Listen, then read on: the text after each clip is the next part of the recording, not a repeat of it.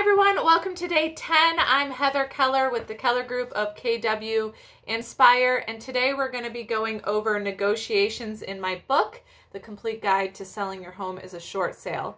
So after your bank has completed the BPO and or appraisal, that report will go back to the bank. They'll analyze it along with the offer, and they will either make a counter offer or they will accept the offer.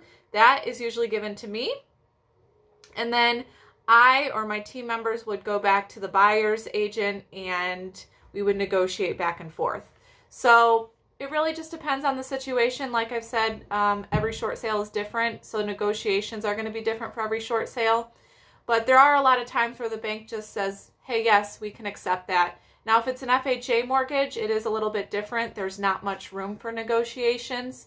So if you do have an FHA mortgage, um, there is a two-part process to the approval and the bank must net 88% of the appraised value. So all of that's kind of confusing, but negotiations do begin once the BPO and or appraisal are returned to your bank and that's when we can either accept and move on to the next part, which is the approval letter, or if we can't make the numbers work, we can put it back on the market as an approved short sale. Hope this helps. And again, if you'd like a free copy of my book, please feel free to email me, heather at thekellergroup.net, or you can call me at 224 407 2220. Thanks and have a great day.